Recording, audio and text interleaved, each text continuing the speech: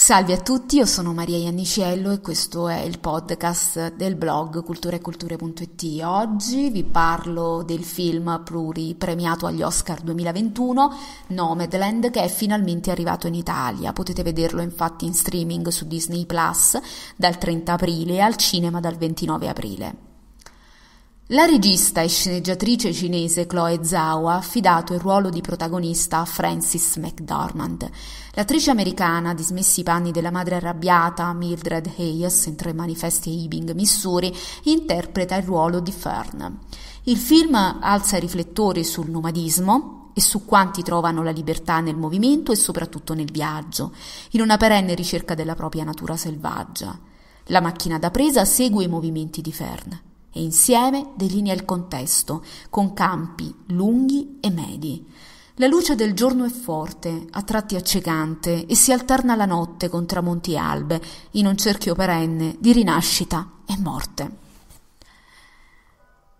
In tutto questo vivere e muoversi tra personaggi che si avvicendano lungo il cammino della protagonista, conosciamo la storia di Fern.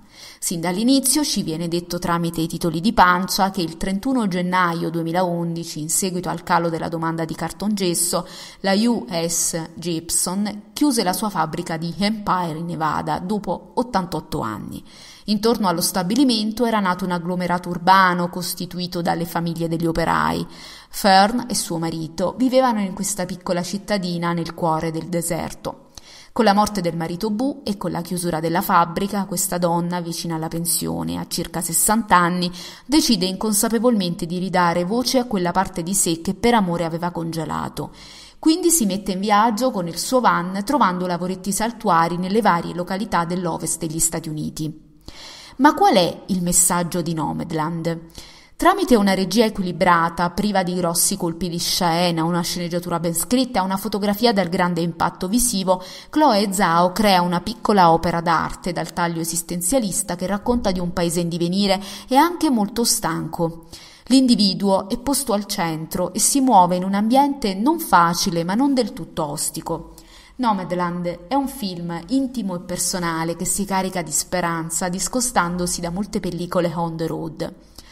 Fern non viaggia per un obiettivo preciso e non mira a ricostruirsi come Cheryl Strayed di Wild, né vuole stravolgere uh, la sua esistenza come il protagonista di Into the Wild vendendo tutti i suoi averi. Fern, che non è un'istintiva, vive nel ricordo di chi l'ha lasciata con un piglio di nostalgia, di umana rassegnazione e un senso di impotenza. Il suo dolore però è contenuto e perciò il cammino è catartico. Fern vuole solo percorrere l'ultimo pezzo della sua storia in libertà la protagonista simboleggia dunque l'individuo che si realizza non in maniera stanziale ma pur sempre tramite l'incontro con altri esseri umani. L'agglomerato, costruito intorno alla fabbrica, si è trasformato così in un'altra città fantasma, dove Fern forse decide di lasciare i suoi ricordi e un pezzo del proprio cuore in una catarsi da compiere in solitudine mentre le giornate scorrono e i paesaggi cambiano Ehm, continuamente, così come mutano gli stati d'animo. Il film è uh, l'adattamento cinematografico del libro di Jessica Brother, uh, che appunto si intitola uh, Nomadland, un racconto di inchiesta.